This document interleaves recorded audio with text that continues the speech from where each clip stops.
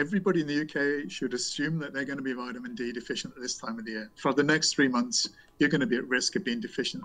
You get vitamin D in some foods like oily fish, but mainly from the sun.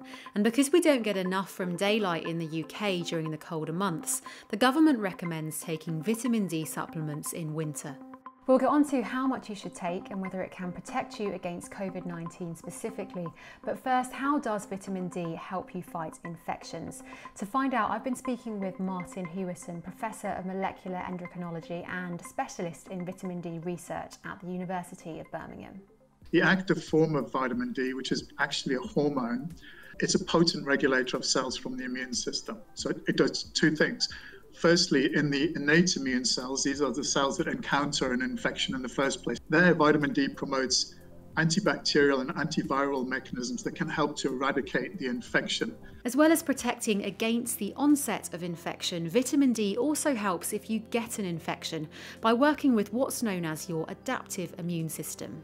There, vitamin D does something different. It acts as an anti inflammatory agent and it stops these cells from being too inflammatory. Inflammation can be good in terms of eradicating an infection, but if it carries on for too long, it, it can damage tissues um, and then make the disease worse. In a way, you can see that vitamin D do- does double duty. It's very attractive because it both could protect against infection, but also prevent the damaging effects of the immune system um, if you do get infected.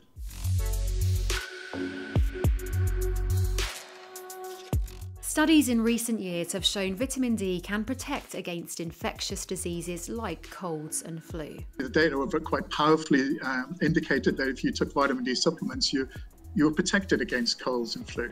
So, of course, with the COVID um, 19 pandemic, people have taken that interest and extended it to COVID 19. Studies have found people who are vitamin D deficient are more likely to get infected with COVID 19 and suffer with more severe symptoms. Yet the most recent government led review of the existing research shows there's not yet enough evidence to promote vitamin D for the prevention or treatment of COVID 19. However, with what we know about how vitamin D affects the immune system, experts highly recommend taking supplements it's unlikely that we'll get any major confirmation of the effects of vitamin D on COVID 19 for some time. I think the advice, and certainly I think the UK government are beginning to recognise this, is that the population in the UK as a whole needs to at least be aware of the fact that they could be vitamin D deficient and take action on that, which is going to come from taking supplements.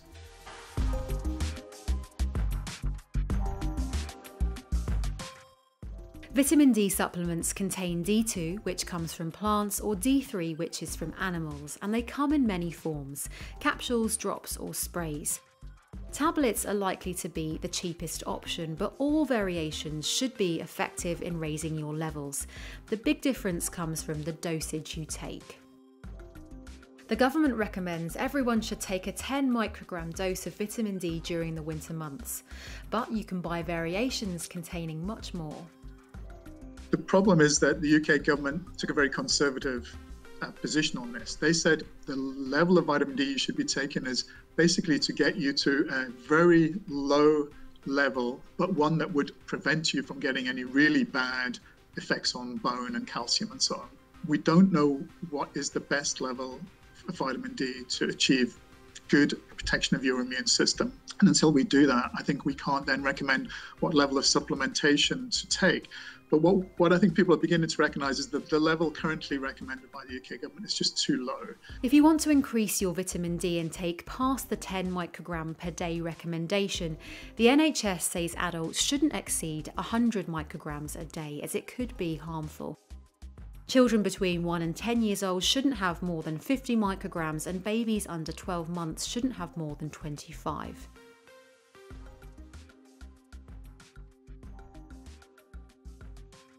Your body should absorb vitamin D from supplements and food without the need for any other supplements.